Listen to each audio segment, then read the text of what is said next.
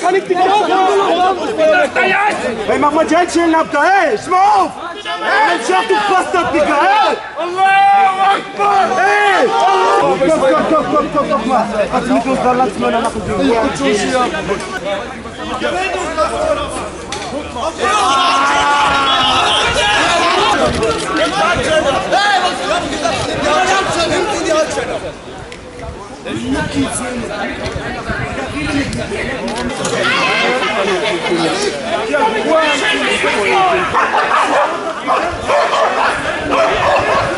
Seit zwei Stunden versuche ich mit den Leuten zu sprechen. Die Polizei lässt mich nicht ran, weil das sind alles Kinder von unserer, von unserer Max Brauer. Die kennen mich alle hier.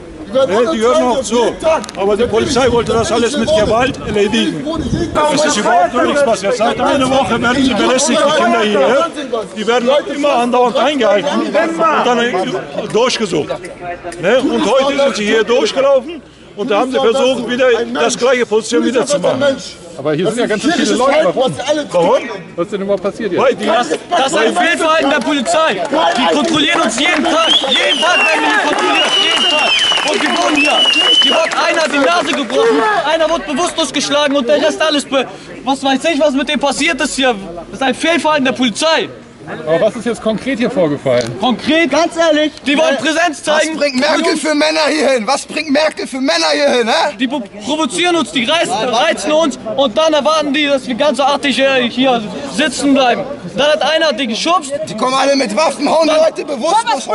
die haben uns bewusstlos geschlagen, Nase gebrochen, alles. Das ist ein Fehlverhalten. heute ist unser Fastenmonat Ramadan. Nach Ramadan sind die Jungs, 15 Mann, das sind alles Jungs von unserer Straße hier, sind die da essen gegangen, sind die da aufgestanden, sind hier die Straße entlang gegangen. Und dann haben sie nur noch Zugriff gehört, haben wir nur noch Zugriff gehört und hast, haben sie gesehen, wie sie in die Ecke gezwungen worden sind. Und dann schön mit Pfefferspray rein. Drei, vier Leute sind danach reingegangen, weil sie Pfefferspray auf ein Auge hatten. Und danach sagen die, wir wurden angegriffen. Wo wurdet ihr angegriffen? Ihr wurdet gar nicht angegriffen. Die haben nichts gemacht, die sind nur hier aufgestanden, sind in die Straße gegangen. Das sind 15 Mann. Natürlich, natürlich sind die ein bisschen laut. Das sind 15 Jugendliche. Die haben nichts gemacht. Und hier, die ganze Menschenmenge hier, das sind alles Zeugen, was sie gemacht haben. Dieser junge Mann, ne, dieser junge Mann, der drin ist, er ist bewusstlos. Und sie können noch nicht mal ihn die Handschellen abnehmen. Die haben ihn so den Kopf festgehalten, hat die Polizei so genommen. Ne? Normal, dass er bewusstlos wird. Der einzige Grund, Und warum die das heute tagtäglich machen, ist, sie wollen die Statistik frisieren. Und das Egal, machen die, das machen die seit Wochen so, seit Wochen. Gestern genau das Gleiche. Gestern war genau das Gleiche. Einfach nur schikanieren. Sie wollen diese Jugendlichen, die hier sind, einfach nur schikanieren. Dass genau sowas passiert. Das ist Rassismus, das ist Diskrimination.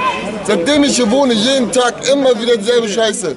Wir gehen raus vor die Tür und trotzdem werden wir angehalten ohne Grund. Sind wir hier in einer Gefahrenzone? Nein, sind wir nicht. Und dann heißt es, ja, die Jugendlichen sind kriminell, die Jugendlichen sind das, die Jugendlichen sind das. Wieso provozieren die denn? Gestern wurden die Jugendlichen hier innerhalb von einer halben Stunde dreimal kontrolliert, zweimal auf Los, zwei wurden mitgenommen. Da an die Wand. da an Einmal macht man's. Und dann hast du nur Beim zweiten Mal verstehe ich auch. Aber im dritten, das ist Altona Altstadt. Das ist Haus 3. Haus 3 Gebiet. Und es ist jedes Mal das Gleiche. Es ist immer, immer das Gleiche. Aber ich bitte Sie, nicht, dass Sie später berichten, weil es gab Schreie mit, ähm, ich sag mal so, nicht, dass Sie wieder schreien, Salafisten und so. mit sowas, nee, ich, es ist so, es sind, leben hier viele Ausländer, ne? Nicht, dass später aber dieses, die Verbindung mit dem Islam wiederkommt. Es ist der Fastenzeit, also wir haben Ramadan, um 21, 22 Uhr äh, ähm, dürfen wir unser Essen wieder essen. Man geht raus, man unterhält sich, man trinkt einen Kaffee, also es ist ganz friedlich. Und danach kommt zwei, drei Zivilbeamten, Personal, oder wir wissen nicht genau, was da jetzt genau ist. Ich weiß nicht, warum die das machen. Das ist jetzt seit einer Woche ist es so. Die Jugendlichen werden dort hinten auf dem Parkweg äh, begleitet. Hier werden die begleitet. Gestern haben sie einen Jugendlichen dort hinten mit Handschellen befestigt und äh, runtergedrückt. Einer mit dem äh, Knie auf dem Kopf, einer mit dem Fuß irgendwo getreten. Jeder Jugendliche, der hier spazieren geht, ist verdächtig und schuldig. Es ist hundertprozentig schuldig für die Beamten, die heute was gemacht haben.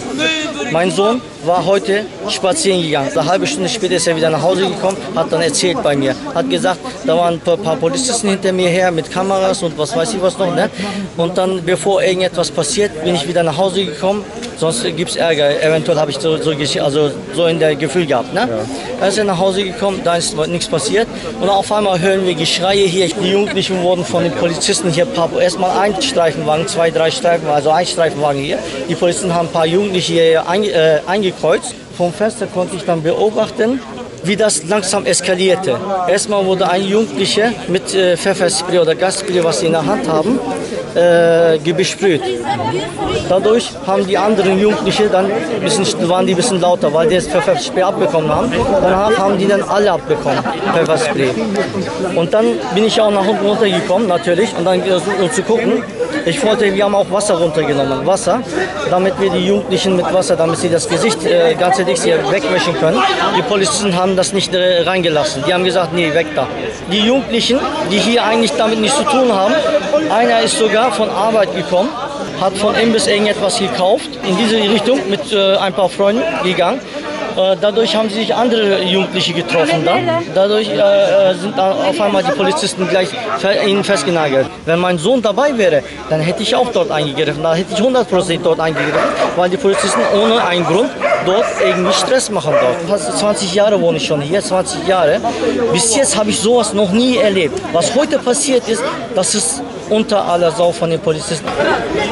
Die, Polizei kam unnötig mit mehreren Männern nur für eine Routinekontrolle. Und wieso geht man mit mehreren Männern, mindestens 15 Leuten bis 20 Leuten, auf eine Routinekontrolle, wo halt drei, vier Jugendliche angehalten und äh, links befragt werden oder Personenkontrolle werden.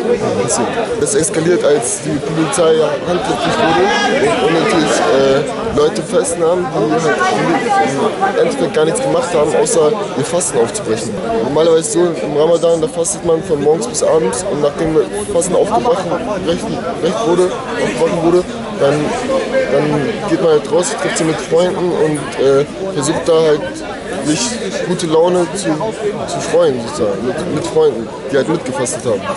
Kommen uns nach mit 15 Beamten, obwohl wir drei, vier Personen sind, nur für Routinekontrollen, die eigentlich äh, gar keinen Sinn ergeben, weil wir halt nichts verbrochen oder getan haben. Vor der Eskalation war es halt so, dass äh, wir unnötig angegriffen wurden von der Polizei. Die Polizei versucht radikal gegen uns vorzugehen, obwohl wir nicht mal was machen. Die einzige Schuld, die wir haben, ist, dass wir aus Migrantenfamilien kommen, die sich erfolgreich seit der dritten Generation integriert haben. Geschlagen, Pfefferspray, alles Arm ausgekugelt, äh, Beine gebrochen mit Schlagstöckern, mit Teleskopabwehrstöckern. Wofür? Wofür macht man sowas? Das macht mich sprachlos. Also, das ist eine, man kann nichts machen, das ist das Ding.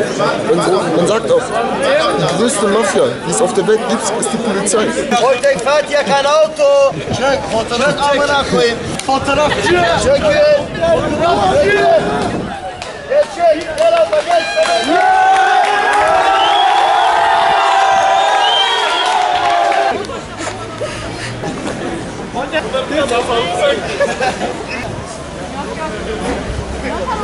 Nur vom Pfeffer- Pfefferspray. Das ist wirklich eine bodenlose Frechheit.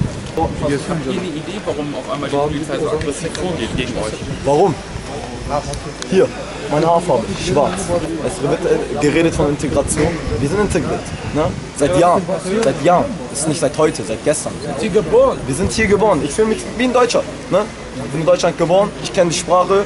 Das ist mein Mutterland. Ne? Ich bin zwar auch Türke, ich komme aus der Türkei gebürtig. Aber ich fühle mich als Deutscher. Es bringt nichts, jeden Abend Leute irgendwie zu observieren, zu kontrollieren. Personalien hier und Personalien da. Aber Das kannst du dir erklären, warum das jetzt seit einer Woche so stark ist? Warum? Ähm, ehr- ehrlich gesagt nicht. Es gibt keine Kontaktperson. Ich meine, dann sollen die doch mal kommen. Die kommen doch als Zivilpolizisten näher. Dann sollen die doch mal mit den Eltern reden. Versuchen, Kontakt aufzubauen mit den Kindern. Ne? Einfach sie zu kontrollieren, Personalien aufnehmen und weiterschicken. Findet man bei denen irgendwas?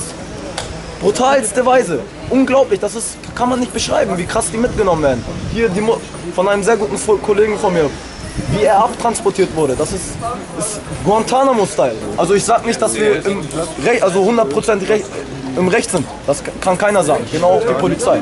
Aber wenn man, wenn man etwas versuchen sollte zu ändern, dann sollte man versuchen, wirklich den Kontakt zu finden. Und das ist ganz wichtig. Den Kontakt aufbauen mit den Kindern. Ne? Und nicht nur einfach kontrollieren und weiterschicken. Ja, war eine kleine Gruppe. Wurde einfach Person die Personalien wollten kontrolliert werden. Es gab vielleicht Missverständnisse. Und dann wurde es auf einmal Einsatz. Man hat nur Einsatz gehört und es wurde zu einer brutalsten Weise verhaftet. Die Menschen, also überkrass, überkrass, wie das hört. Das hier alles ist kein Wasser, das ist alles Pfefferspray. nicht nur mit Pfefferspray, es wurde geknüppelt. Ne? Leute wurden in Schwitzkasten genommen. Polizeihunde waren hier. Das führt zu nichts. Man kann so, so gar nichts erreichen. Die Polizei hat hier nichts im Griff. ne? Das liegt aber nicht an uns. Wir leben in einem Rechtsstaat. Ich bin froh, in einem Rechtsstaat zu leben. Ne? Aber das funktioniert nicht. Man könnte hier ein, ist jeden Tag Zivilpolizisten da. Man kennt sie mit Vornamen.